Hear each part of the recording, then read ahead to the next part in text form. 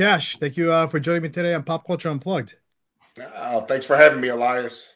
Uh, great. Uh, you know, I've been looking forward to this chat. You know, the listeners, the viewers can see you on Tulsa King. They can see you in the wrestling world, man. You've been your career, man. It's been going up the last few weeks. A lot of talk about you and your character.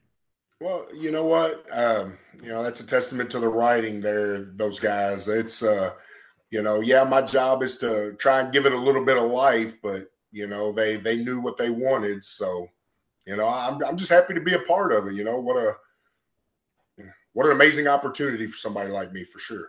Right. Did you see that article? I wanted to start off with this. Did you see the article about how Bigfoot might be the best character in season two? I've read a few articles here and there. You know, you get you get to the point where you don't, you know, necessarily read a lot of that stuff or look at a lot of that stuff. You know, that's pretty amazing though. Like I said, that's a testament to those writers. You know, mm. they they knew exactly what they wanted to put out there. You know, I think the character fits really well in in the you know in the wild and zany crew that that Dwight has out there, and you know, I, I'm just glad to be a part of it.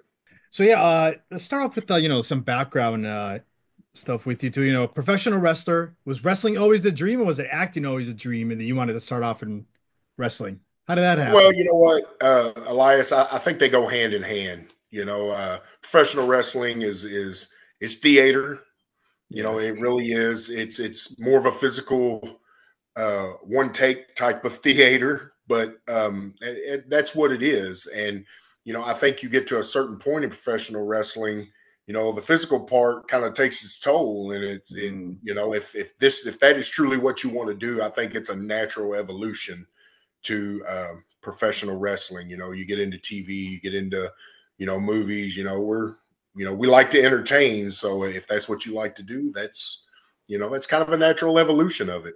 Yeah. What made you fall in love with wrestling? I don't know, because I'm old school. You know, I'm talking about like Roddy Piper, Ric Flair, those type of days.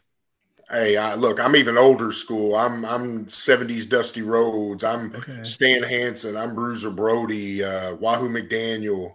You know, I'm I'm I'm pre Nature Boy. You know, Ric Flair type stuff. So, uh, it, it was always on around my house. You know, I, I grew up around grandparents, and it was always on around my house, and and that is just something that I always saw myself doing. How many years have you been doing wrestling? Since 1997. Wow. Uh, so 27 years. Mm. Yeah, 27 years. Yeah. I mean, I'm fi- still going, still going strong. Still do a television yeah. program every week. Yeah, I saw that. You know, you're you're huge in the indie scene. Also, uh, was do you enjoy that more the indie scene compared to like you know things like WWE or you know now we have AEW, TNA, and all that stuff? Um, there are a lot of there are a lot of uh, boundaries when you work for a company the size of of WWE or yeah. uh, AEW. There are a lot of boundaries. They put a lot of restraints on what you can do and what you can't do. Um, and I always told myself you know and and you know this sounds kind of odd but i've always told myself i would much rather build something somewhere with a, a good group of guys as opposed to going somewhere that's already built and then just lending a hand mm. you know it, it's much more gratifying to build something as opposed to you know be a part of something you know it's, it's just much more gratifying and you know when when i first came to ovw it's that's what I that that was a plan. I wanted to build something. Have I had opportunities to do extra work and stuff like that at those places? Yes, I have. Have I taken them a lot? No. no. You know, it's just it, uh, I feel there's much more freedom eh, out on the yeah. indies to do what it is that that you want to do and how you want to create and you know I've I've just been there. Yeah. And what's great about the indies too, you know, I don't want to stick too much with wrestling, but the great thing about the indies is like even when you're watching like the, you know the big outlets like WWE and you, and you see that huge indie wrestler everybody sh- knows it shows up, the crowd goes crazy with those guys. Uh, the the adrenaline rush on a good independent wrestling show is second to none. Not to mention it's it's much more uh, intimate. It's much more usually a, a, much more intimate setting. You know, you don't mm-hmm. have you're not necessarily in arenas the size of stadiums where it houses 50 60,000 people and you know you're so far away from the people that it's it's not real intimate. You just have to you have to go to perform and then you go home. In independent wrestling, it's different. It's a very intimate setting. There's nothing like it. There, there really isn't. There is definitely a place in pop culture for independent wrestling. Right, right.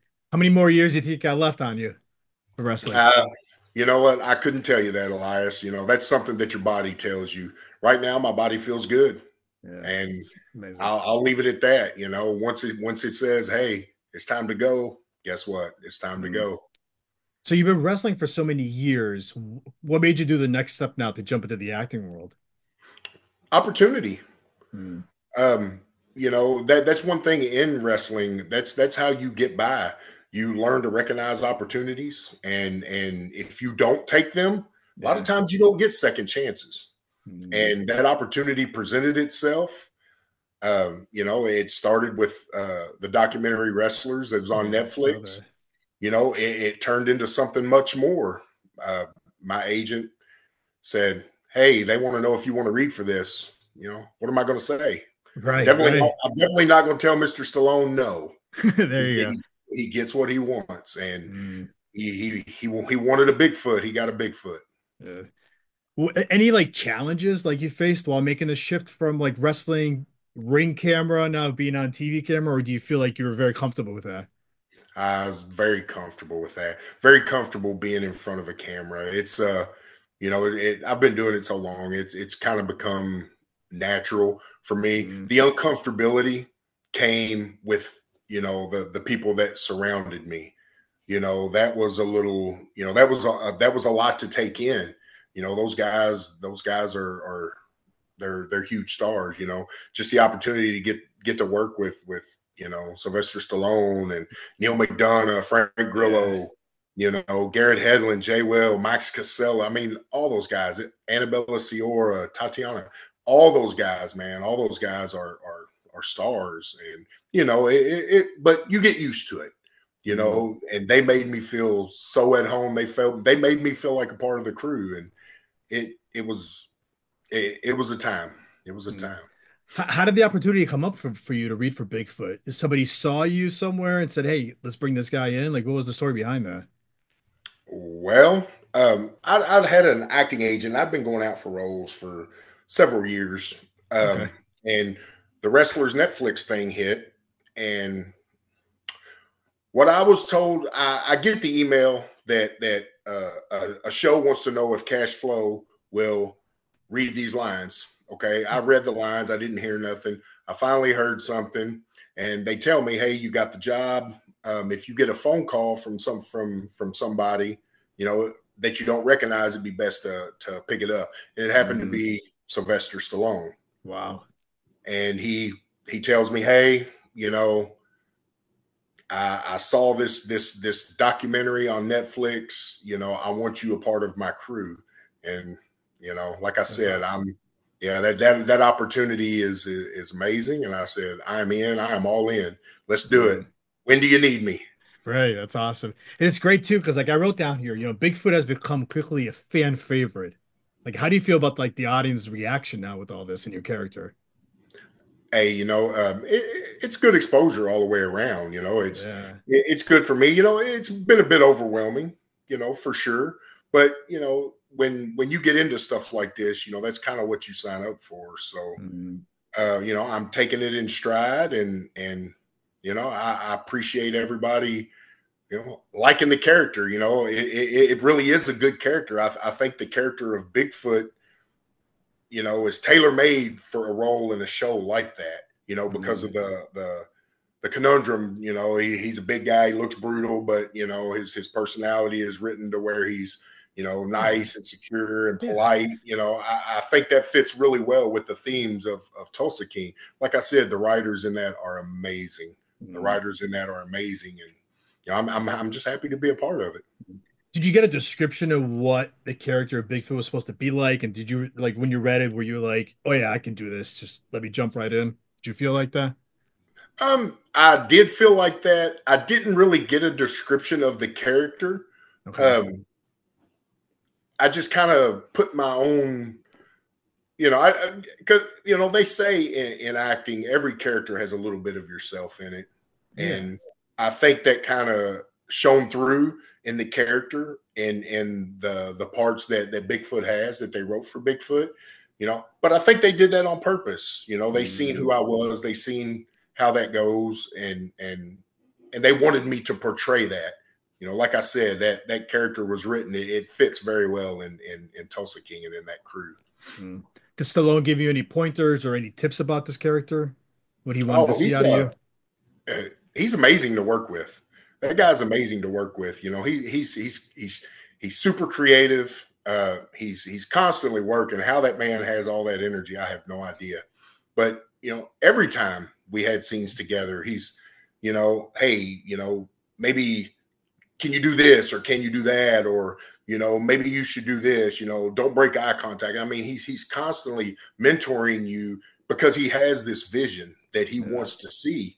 And you know he's he's super focused on that vision and he knows what to say to somebody or you know how to to guide somebody to get there to read what it is mm. that that he wants to see i mean it's it, you know it, it, was constant it was a constant relationship you know it, it was definitely a mentorship and you know you can't beat that right you really right. can't beat that that's awesome what can fans expect from Bigfoot's journey pretty much in season two. I know you you don't want to tell us too much, you know, but what can you tease about us about this guy? well, I, I, can't really give too much. Let's just say Bigfoot is there because they need a hand. Okay. Yeah. Maybe not so much physically. Maybe, you know, maybe they need a, you know, a, a, a smile here and there. But I, what you can expect from Bigfoot is he's going to do what he's hired to do. Mm-hmm. And I, I, think I'll just leave it at that. Bigfoot is going to be there and he is going to do what he's hired to do. Mm-hmm. I watched the last episode. Uh, you, you, we didn't see you that much. Are, are, we expecting you more bigger role throughout the season? We'll see hey, more look, you. What you what you saw is what I saw.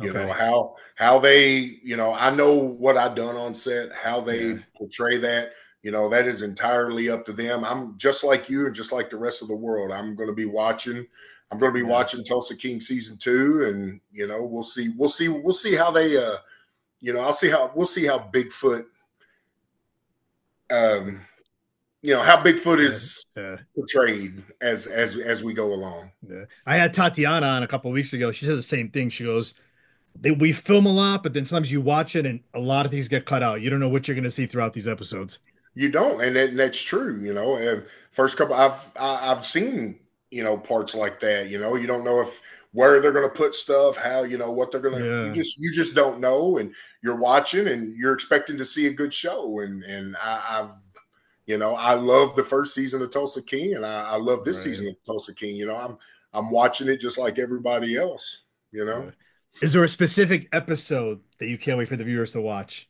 Like we're getting a ten. I know they're all good, but a specific one with. Nah, I, I, I because I, am a fan of stories. I'm a, okay. You know, whether it be the the, the wrestling part of me, I'm a fan yeah. of stories. I yeah. like the complete story. You know, and that doesn't change. You know, that doesn't change even though I'm in it. You know, I'm a fa- I'm a fan of the story.